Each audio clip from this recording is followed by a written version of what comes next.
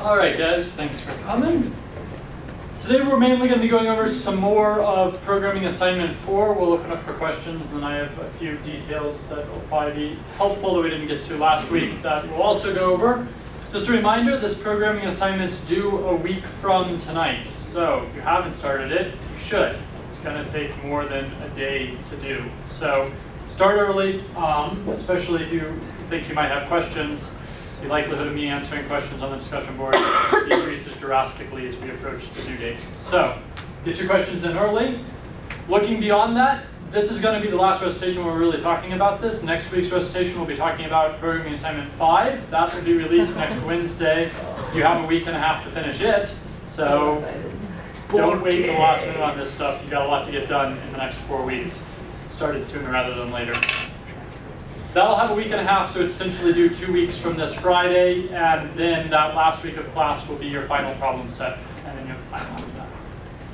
So, I'm sure you're all thrilled about this, but go get them. Logistical questions? Okay, so like I said last week, it is in fact now there. Everything you need to program the assignment 4 is on the Moodle. You should be looking at it. Uh, obviously, make sure you read the entire PDF first. Because we're using this in a simulator, there's some overhead to learning what's going on in the simulator. That's all described in the PDF. We'll touch on that a little bit more today. The files are all in the zip file here. You can download them. You can also pull the files from GitHub, which is actually where they're more up to date.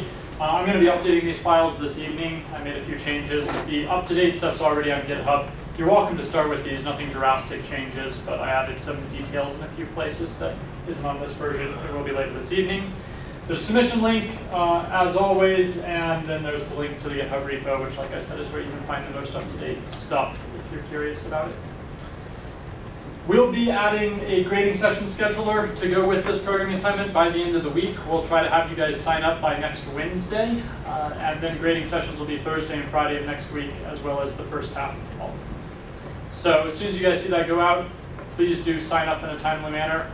Uh, we're getting toward the end of the semester here, so there is less leeway for not scheduling a grading session on time and all such things. We're trying to fit stuff into a smaller period of time. So make sure you're on top of all of this and that you're actually starting on this programming assignment. You'll want to do that now, or if you haven't already. We good? Okay.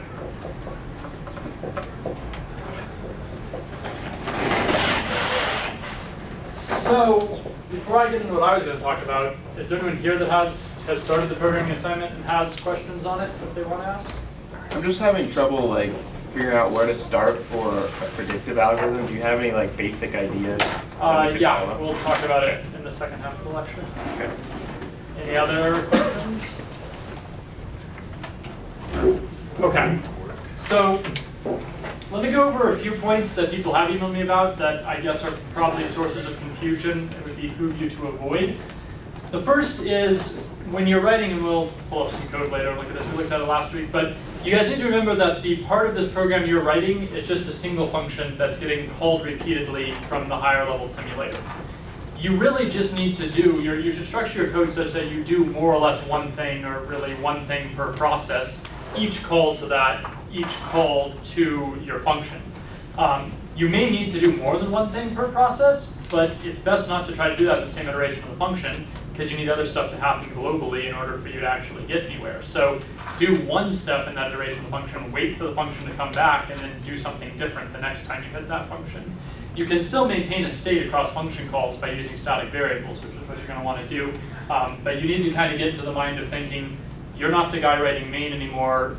You have to embed a bunch of local loops to do things over and over again and set maybe to cover multiple processes you really should be trying to do one thing per process for each call to your function, assuming that you'll hit other calls to your function down the road that'll allow you to do other things down the road. So this is where, I mean, you're, you're not going to want to be trying to, obviously if you call page in inside your function and then want to page it out again later, I mean, calling that in the same iteration of the function is useless uh, because if you didn't let the simulator go off and do some useful work, that request never would have completed in the first place. So scope down what you're doing inside your function. Think more on the, you're going to get called over and over again, you're probably going to have more have a bunch of cases, and you're going to have a bunch of big embedded loops and stuff like that. uh, you're already getting called inside someone else's big loop. So you got to go into it with that in mind. So the other side of this is kind of the states that pages can go through, which can be a little bit confusing until you look at it. Like we talked about last week, uh, the simulator runs a series of processes where each process has access to 20 pages of virtual memory. And corresponding, you can get access to the page map for each process that tells you which of those 20 pages is swapped in and which is swapped out. So if we assume this is our, we have a process that has this page map. So these are the 20 possible pages it can use. There's an array that we get passed each time our pager function gets called that basically the index of the array refers to the page number, and each page then is given either a zero or a one, depending upon whether or not that page is swapped in or swapped out. Where a one tells us this page is swapped in, a zero tells us it's swapped out. So this is kind of how we can analyze uh, exactly what the state of each page in our page table currently is. Like we talked about last week, our program counter is going to be pointing to some location in memory that's going to be stored in one of these pages. And if our program counter is effectively on a page that is swapped out, we can't do any useful work. So if our program counter is here, we're okay. That's already swapped in. It means we can keep running our code. No action is maybe necessary, depending upon what we're doing with prediction, but there's no immediate action necessary. Um, whereas if we're down here, and this page is swapped out, we can't do anything until we go through the effort of swapping this page in where in order to swap this page in, we may find we don't have any spare pages, we have to swap another page out first, so on and so forth. But one of the things you're going to have to pay attention to throughout this assignment is kind of the state of these pages. This page map gives you half the state. It tells you whether or not the page is swapped in or swapped out as far as you're concerned, right? A 1 means that you can do useful work on that page, a 0 means you can't. But there's really another side to the state of each of these pages that you don't really have direct access to. If you need access to it, you're going to have to come up with ways to that yourself. And that's what's going on with any of these pages at any given time. The pages that are ones, they don't really have anything going on. They're swapped in, there's nothing happening. But these zeros could have a swap in or a swap out operation effectively pending on them. So they could be in the process of swapping in or in the process of swapping out. Remember, it takes X amount of time for a swap in or a swap out to actually complete after you request it. So we could be sitting here waiting on page 19. The first time we realized we were here, we probably made a call to page in, putting the page in this page. The next call to our function, this is still going to be zero. In fact, it's probably going to be zero for the next 100 calls to our function because it takes 100 ticks for this to actually change from a zero to a one after you call that that initial time. Now, there isn't really any harm in calling page in on this over and over again because page in will just return one if a page in process is already, it doesn't like restart it it's already in progress, it'll just send back a one, so you can effectively ignore it. Um, but there is an issue when this happens in the opposite direction, which we'll look at. So there's an additional part to the state of each of these pages, which is kind of what's going on. So this could be in the process of being swapped in, it could be in the process of being swapped out, or it could just be static. There could be no pending operations on it right now. People kind of clear with that?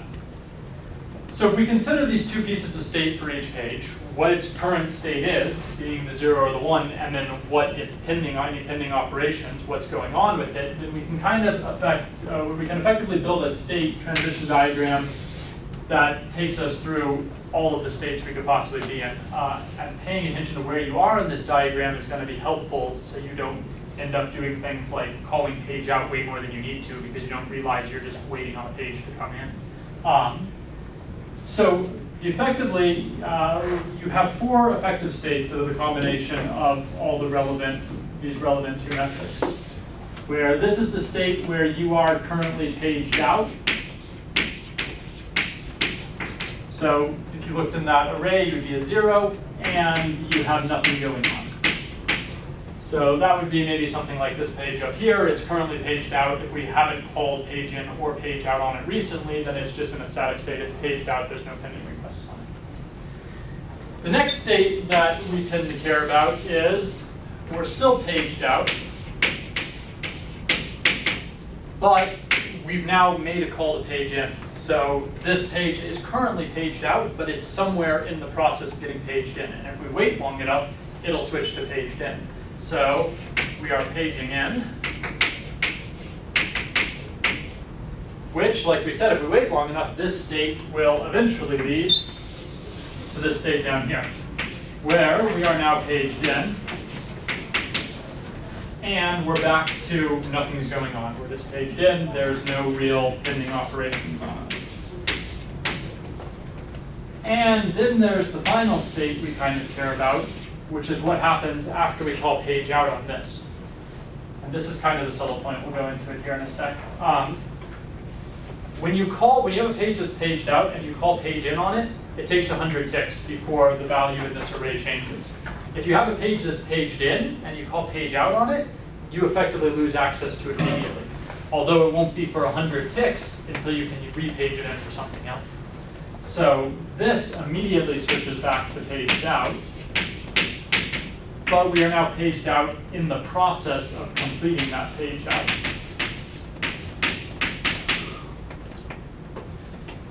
So in this state, we can call page in and it'll execute, it'll effectively call the page in, will bring us to this state. This takes one tick to effectively occur, to go, to get to the point where we are actually in the paging in state. So one tick after we call page in, the next iteration through, we will have our, our request will have registered. It'll still be marked as paged out, but it'll be in the process of paging in. There's, like I said, the only way to track this is to kind of pay attention to what you've been calling. You don't have any access to this directly, but the simulator or the system on the back end is going through the effort necessary to page this page in. This state transition occurs automatically 99 ticks after this. So it takes 100 ticks total after you call page in, one tick to kind of start everything, and then 99 ticks to complete it. So with no further action, any, any page in this state, given enough time, will transition into this state. Does that make sense? So when a page is in this state, if you call paging in on it again, paging in is still going to return 1, which is the successful return because you're currently in progress. If you call page out on a page in this state, it's going to fail. It will return 0 because you can't page out a page that's currently being paged in. There's already a paging operation underway. When we get down to this state, we are now paged in. We could call page in. It'll just return 1 because we're already paged in, so there's nothing to do. Um, and we can call page out. And if we're in this state and we call page out, page out will return successfully and effectively transition us into this state. So we make a call to page out. And again, if we call page out and then immediately look at this array, nothing will change. But if we call page out, wait till the next call to our function, and then look at this array, that page will immediately be marked as paged out. But it won't be done paging out. So it'll be marked as paged out, but the paging out operation will still be underway. So we can't use this page because it's now paged out, but we also can't swap it back in because it's in the process of paging out. So it's not until, again, effectively 99 ticks after this process starts that it actually completes and gets back to the state we call page in. If you try to call page in when you're in this state, page in is going to fail because you already have a paging operation in process. So a call to page in here will essentially lead to a failure. Um, same as a call to page out here. It's only in these two states that you're going to effectively complete calls to page in and page out. Okay?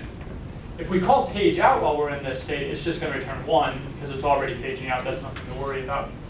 But the place this gets you into trouble is if you're using this array alone to figure out what pages are available to page in, you might go searching through this array. You're going to land on this page. You go, oh, that's a 0.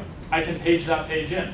Or this is a 0. I can page this page out, which might be fine. But if a paging out operation is already occurring on it, it'll still be 0. And now if you go to call page in, you could try to call page in on this. A paging out operation is already occurring and our page in is now going to fail. It'll return to zero. There's only two times our page in really fails. One is if we don't have any available pages, so all 100 of your pages have already been allocated. The other is if you call page in when a paging out happens. If you assume that the only time a page in will fail is not this case, it's only when you're out of pages, then you're going to make a lot of, you're going to essentially, it tends to lead to calling page out too many times. Because you may have a page that's getting swapped out. So say we land say page four is swapped out when we need it. So we land down here on page four, we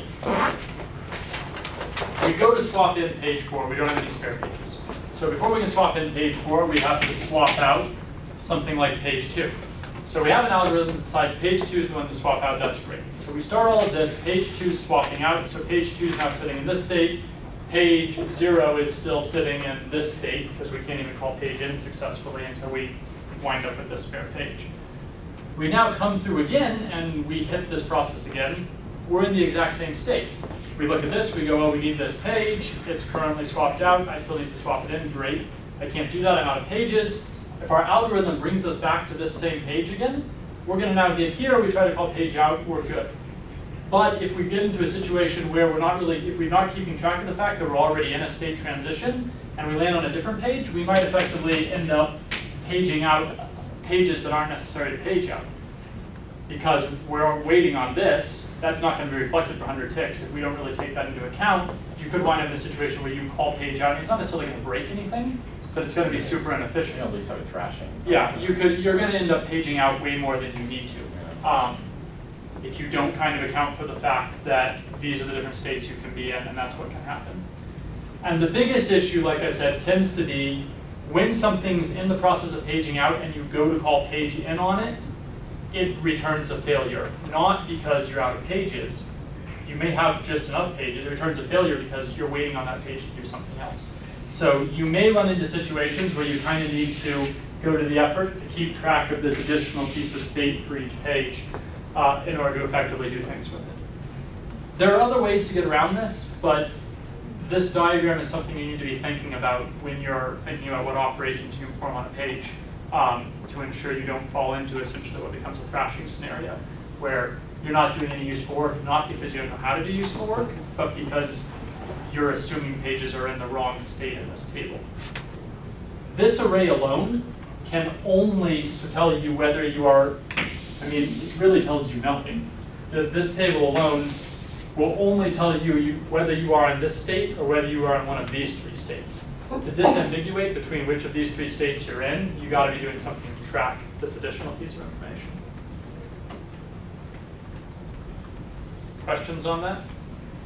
You haven't started this yet, might have totally lost you, but maybe this will make sense when you run into a situation that gets you in trouble if you don't account for this.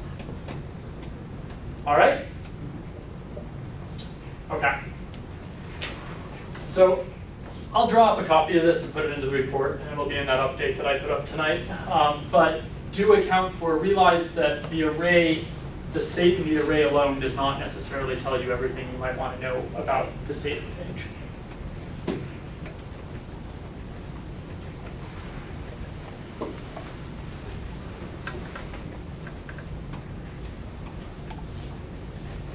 Okay, so now let's talk a little bit more about some solutions, which we touched on a little bit last week. That's the last I'm going to kind of say about the overview of the simulator and the environment you're working in. So if there's any questions on that, now would be the time to bring them up.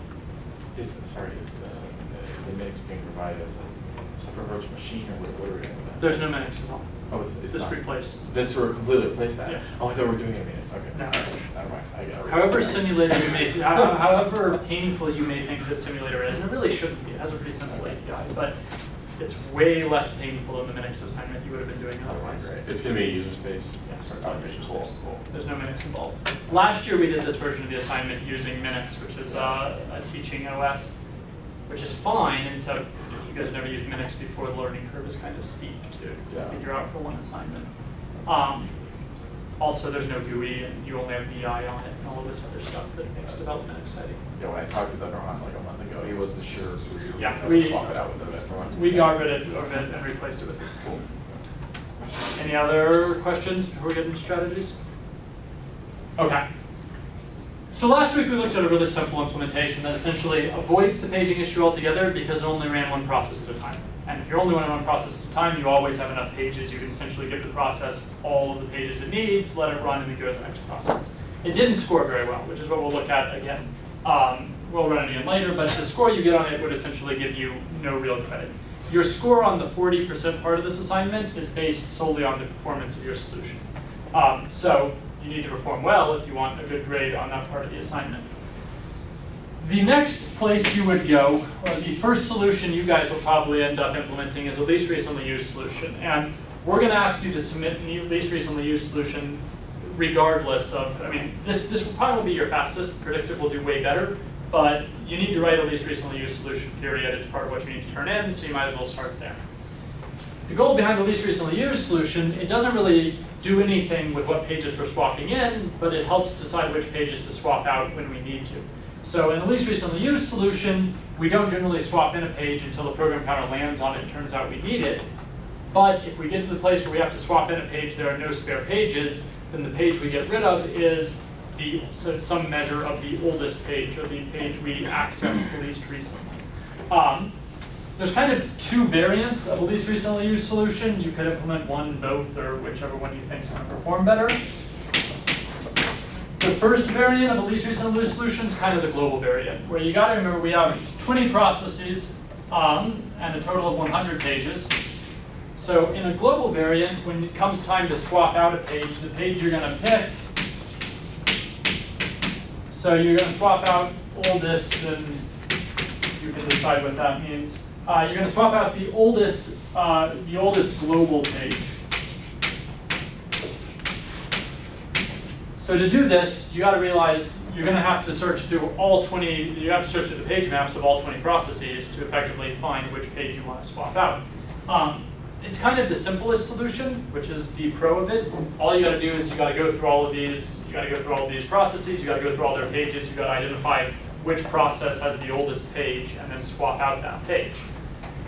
Downside to global is a couple of things. Uh, it tends to have a little performance penalty because it allows crosstalk. This is a paging algorithm where the need of a page by one process can detrimentally affect another process.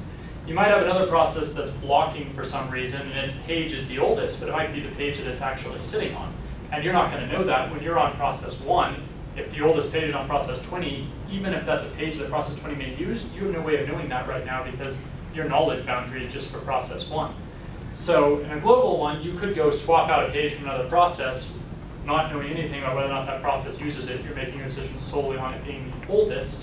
Um, which might damage your performance overall, or it might not. Kind of depends on what's going on. The alternative to doing a globally searched LRU is essentially doing a local or a per process LRU, where the goal behind this is you don't really worry about this 100 page, 20 process global space at all. Instead, you're going to pre-allocate a subset of each of these pages to every process, and those are going to be the only pages that process uses. Thus, those will be the only pages that process needs to search when you have to pick one to swap out. So, I mean, the obvious solution, you have 20 processes, five pages, means that right off the bat, you get five pages per process, right? So if you just pre-allocate five pages to every process, then when you need to swap out, you're not even going to look at other processes. You're only going to say, well, I only have five. I only have five pages for my process. When this process needs a new page, if all five of those pages are already in use, I'm going to find the oldest page within this process set, and that'll be the one that I swap out. Um, so you will swap out the oldest process page.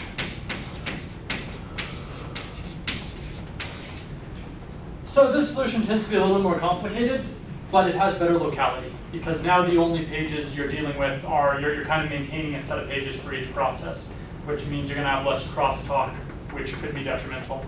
Um, does that kind of make sense? You have two main options here. This solution is a little bit more complicated. One, because you have to track to make sure that you don't exceed, I mean, keep in mind your page in function will only tell you if you're out of global pages. It won't tell you if you're exceeded your five. That's completely up to you. So you kind of have to track the total number of pages you've allotted to each process and make sure you stay within your limit. The other thing you have to do is this 20 is not constant, and it's suboptimal to assume that it is. So as processes exit, at some point you're going to be down to 15 processes, you're going to be down to 10 processes. When, when half the processes exit and you only have 10 left, you want to make sure you're up to 20 pages per process, right? The number of pages per process is going to be a dynamic value that optimally you want to check depending upon how many processes are still active versus how many have completed. So, like I said, you can try one or both of these solutions. One does tend to perform notably better than the other, at least with the set of test programs here. But um, give them a whirl. We'll look at a solution that I have later on, or, or not the code for it, but the performance of it. So that's kind of the two main paths you can go down for LRU. I, I don't think there's a whole lot more interesting do with LRU beyond one of these two things. Are there questions on this?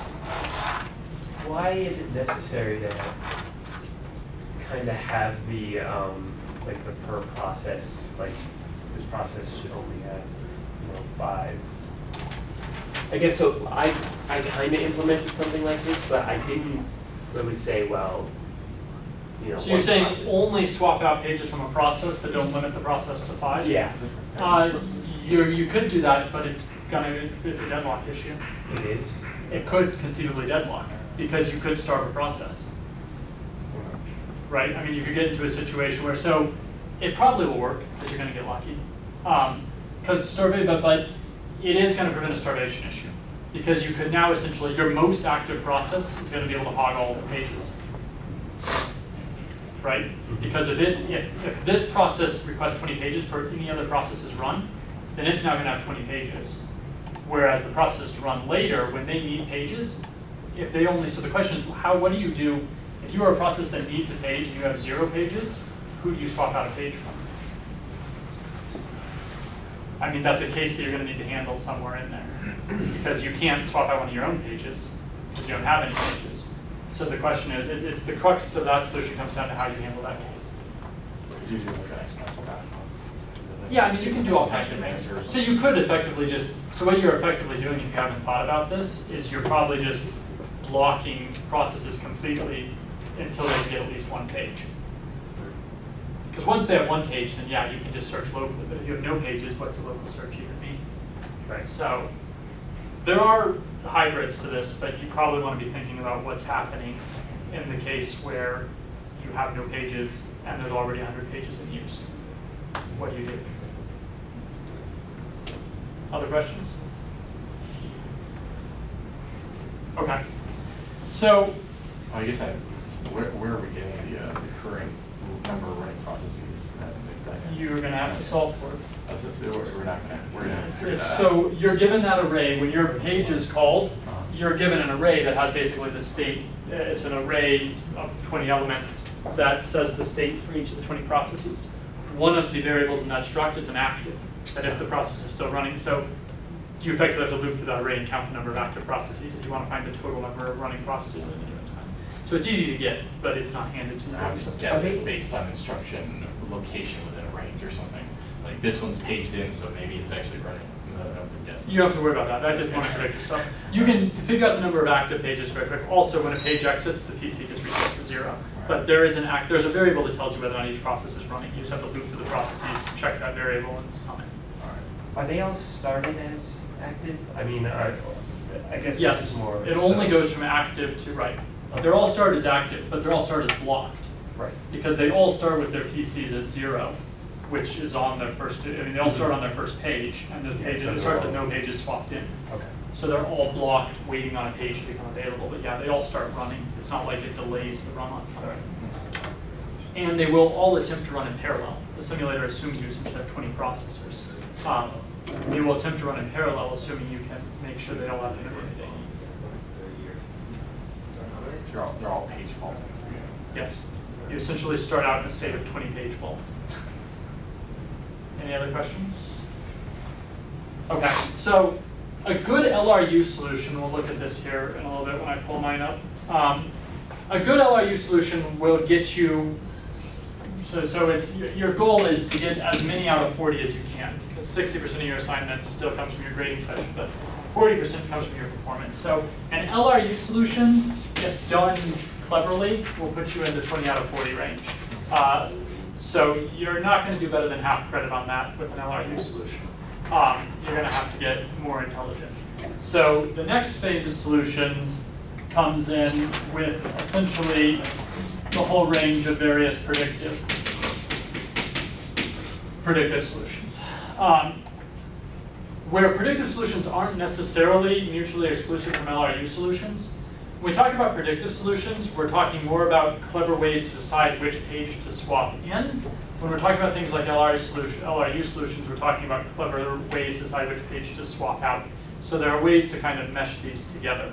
Um, so we'll talk a little bit about some predictive solutions. Now, the sky's kind of the limit on this, and there's tons of clever stuff you can do. So don't feel like what I'm saying today is even the best stuff to do. It's just some ideas of where you might want to start. So in the realm of predictive solutions, you can kind of sort predictive solutions into two high-level categories, where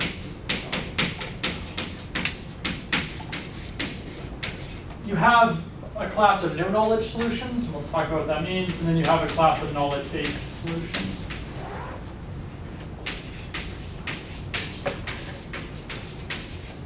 So a no-knowledge solution is a predictive solution that doesn't require any special information about the processes that are going to be running. This is the state we're almost always in in the real world, right? It's not like you buy a processor that only runs three programs, or that only knows how to run three kinds of programs. You buy a processor that'll run anything you throw at it. So by definition, anything clever that the processor, the OS does, can't really assume that it knows you're going to be running Microsoft Word, or it knows you're going to be running a specific program.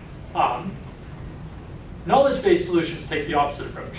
These you don't necessarily see a whole lot in the real world, but for the purposes of this assignment, you can actually do some interesting things. So you do see these sometimes if you have like special purpose hardware that's only ever going to be running one thing at a time, um, or that you know exactly what code the hardware is going to be running. But a knowledge-based solution basically assumes it knows what program is going to be running, and then tries to exploit that knowledge to do better than you could do otherwise. So in the realm of no knowledge solutions, I mean, there's some crossover here, but the simplest no knowledge solution would be a linear predictor, which we'll talk about here in a sec. Um, other forms of no knowledge solutions, uh, you can you can do heuristic based solutions.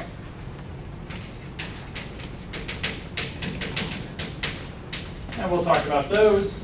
Knowledge based solutions are almost all some type of heuristic based solution.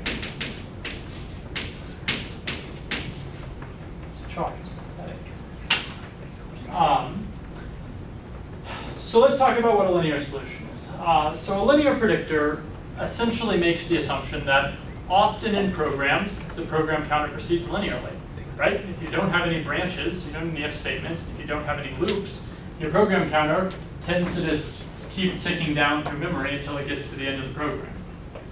People okay with this? So the goal of a linear predictor is to essentially, if we make the assumption that this is a predominant behavior in programs, then it becomes advantageous for us to swap in pages before we get to them, assuming that we will get to them eventually. So you can imagine a situation where if this is our memory space, and we'll divide it into pages of maybe constant size. So if these is our memory space, these are our different pages, and our program counter is sitting up here. So our least recently used solutions, and the non-predictive solution we've looked at the past, is this page is swapped in, this page is swapped out, and this page is swapped out.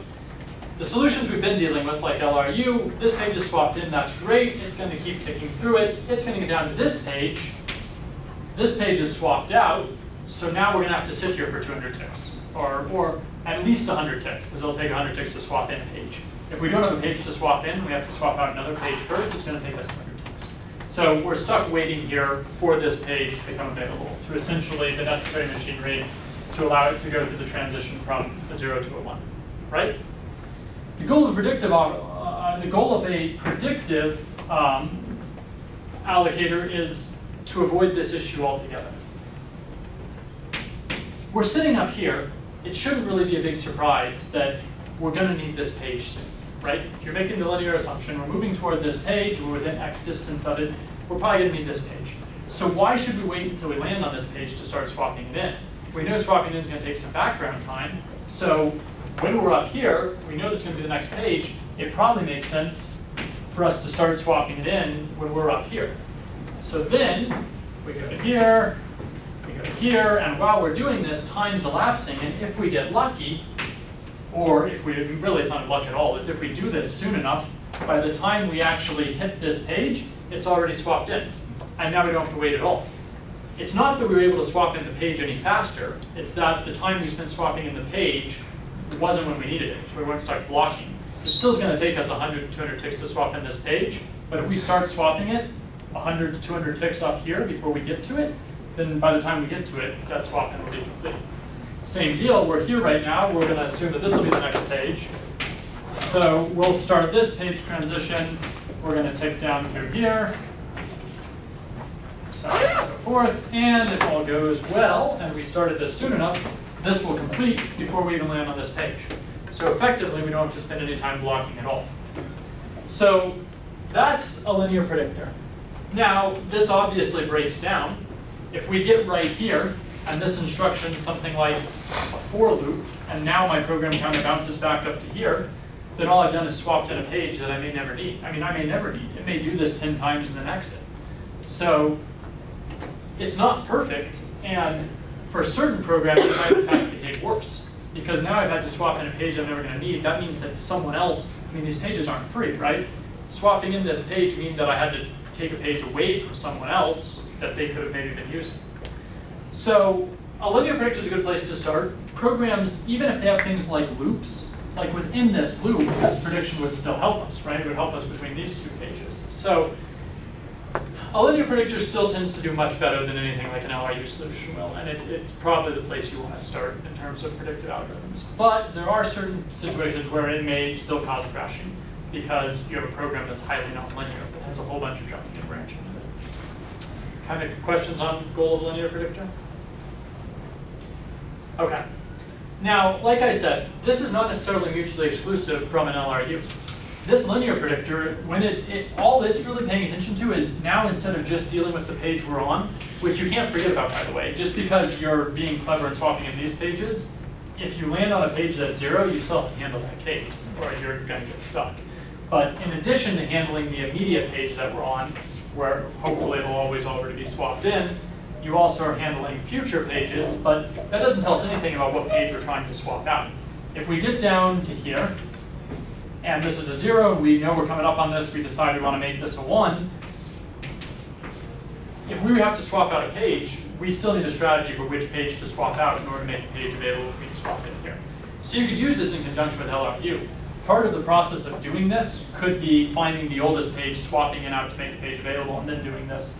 This kind of then becomes all of the machinery that you were doing in your LRU situation. It's just instead of doing it when you land on the page, you're now doing it when you land on the page and for the page that you're going to land on next. So they're really good, well, the predictive ones uh, recognize early, or early enough when they've made a misprediction and correct for it, or is it generally they fail and and then have to wait in the case? I mean, so you can get more complicated, but generally, if you're doing strictly a linear algorithm and you fail, you're going to end up landing on, it. you're going to have page faults still. Yeah. Um, it gets, I mean, you can get more complicated, but then it's not really linear anymore, right? Yeah, Like if it can predict its yeah, misprediction, thinking then it's a lot more than a linear Yeah. predictor. Yeah. Um, A linear predictor only has one possible prediction it can make, Yeah. the pages that are coming up linearly. Okay?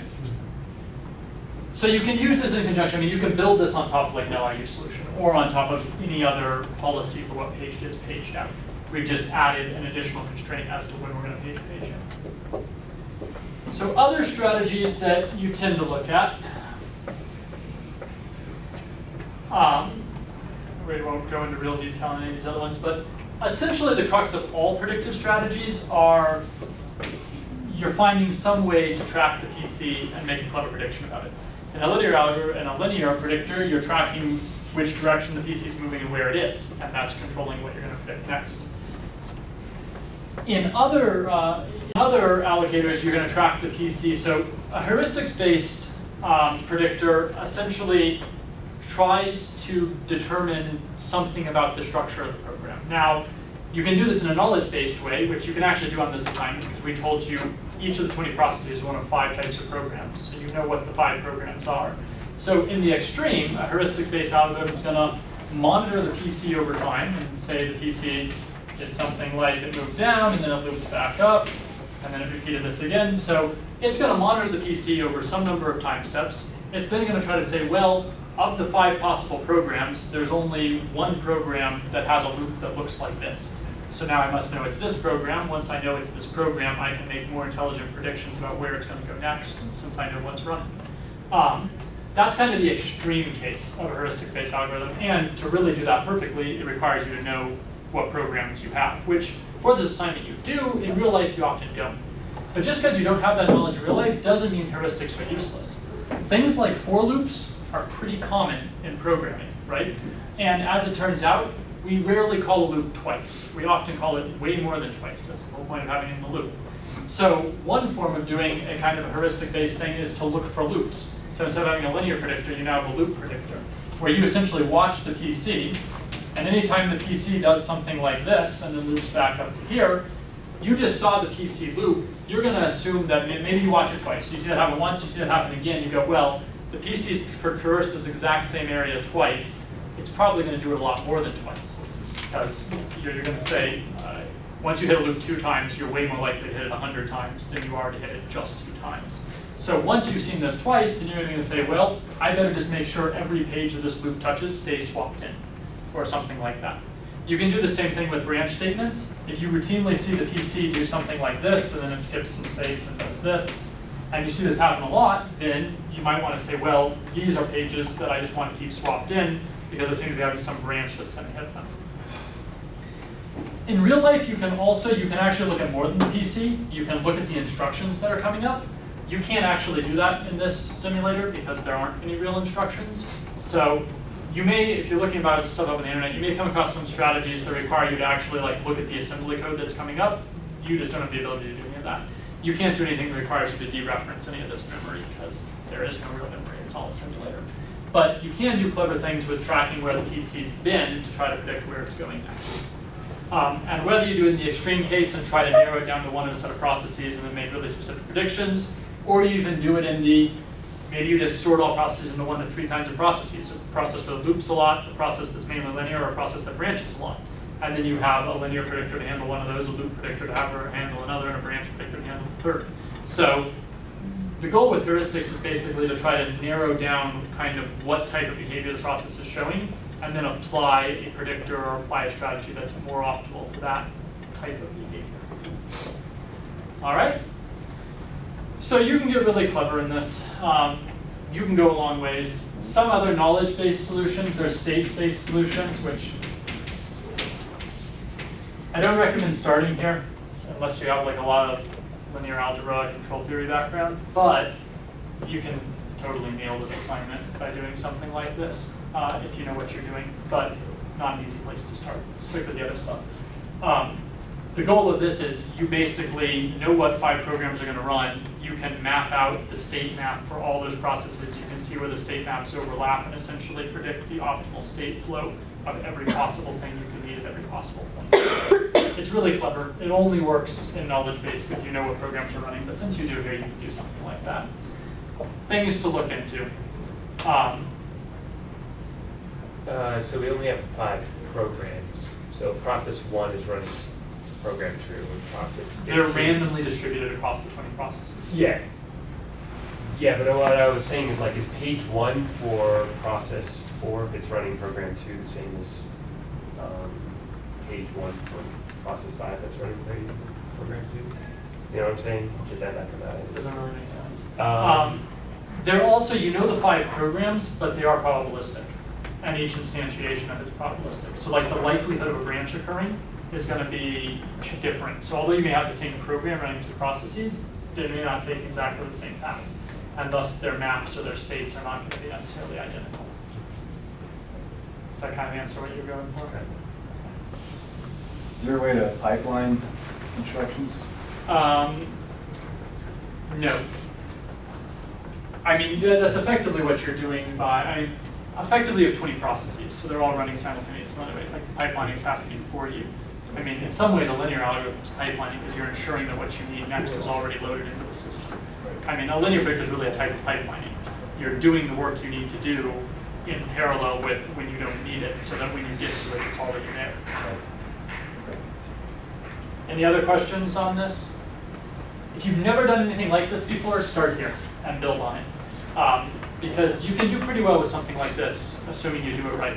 In all of these, if you make a mistake, all bets are off, right? I mean, if you're doing something silly like swapping out pages way more frequently than you need to because you're not paying attention to the state, then even the best predictive algorithm could have terrible performance. So don't just spend your time coming up with sexy solutions, spend your time making sure they're correct before you worry too much about the sexy one. Okay? Okay, so real quick, we will just not look at the source code for it, but um, I'll go ahead and pull it up. and We can run it. So we looked at all of this last week. There's some more files there now, but they're all pretty much the same. This pager-basic is the code that we looked at last week. It builds to a test.basic. It runs one process at a time. It has terrible performance. These other pagers, dash LRU and dash predict, these are stubs. These will be these are the two files that you'll be modifying if you haven't already. Um, so these stubs are basically, this is just an LRU stub, it just exits with an error right now, but eventually it'll implement your LRU algorithm. This exits with an error right now, but eventually it'll implement your predictive algorithm. Feel free to make multiple copies of this. I mean, if you want to try out different predictors, you can copy these. You'll need to update the make file, but the main reason these are set up is so you don't have to modify the make file right off the bat. You only have to modify it if you decide you want multiple copies of some of these. So you get all of this, you go ahead and build it. And it generates some warnings right now from the stubs because they have unused variables. Their stubs. You'll obviously want to make sure your code doesn't generate any warnings. Either deleting these or as soon as you go to use them, it'll become a non-issue. Once it's built, you have these four test programs. We'll talk about the API one real quick, but this is the basic, this is the LRU, this is the predict. If we run the LRU or the predict right now, it just exits with an error because it hasn't been implemented. Um, your goal is to essentially go into that file and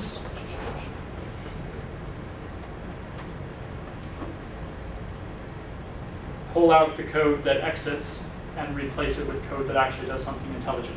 So it's these two files are kind of the stubs that have been set up. That's where you'll be modifying your code. There's some stuff in them. You may or may not find it helpful. I mean, feel free to tear them apart.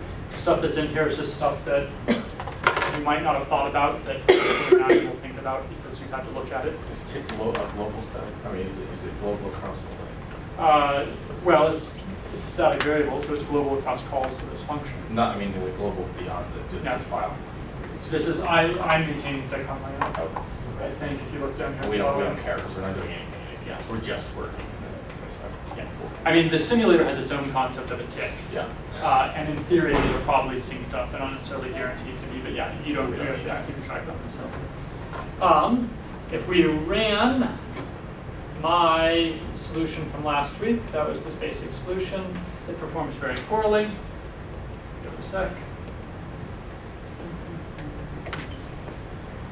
Um, just a note on duplicatability, like I said, when you run this, you can run it with a dash help and it actually has a whole bunch of options. This is a random seed it generates each time and that changes the way things are happening.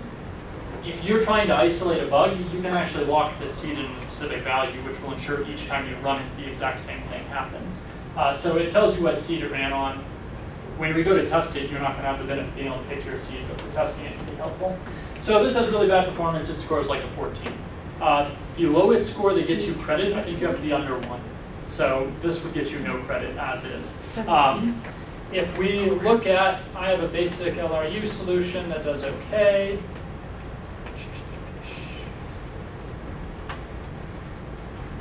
We run my LRU solution real quick, not looking at the code to give away too much. So this is a semi-decent LRU solution, and it scores, I remember running it a couple of times, it tends to score between 0.3 and 0.4, which gets you, I would have to look directly at that rubric, it's the rubrics and the PDF, but that gets you about half credit for the total points. Predictive would obviously go beyond this. The one last thing you may or may not find helpful, there's this test API program. Essentially all it does is it just doesn't actually do any real paging. It just alternates between swapping a single page in and swapping a single page out and then updating the status at every time and printing it out. This basically allows you to prove that state diagram I drew on, on, on the board earlier. So if you don't believe that the state diagram actually does what I said it does, look at the output from this. It'll confirm that for you. You'll need to pipe in the less because it gets long, but I mean, you can essentially see it starts with the page swapped out, it then swaps the page in, 100 ticks later, the page swap in completes, so on and so forth. So you can completely ignore this, but if you have questions about exactly what's going on in the API, you may kind of find this sequence of events that occur between swapping page in and swapping page back out useful. All right, thanks a lot, guys. Get started on this. It's due a week from tonight. Next week, we'll be talking about the next program.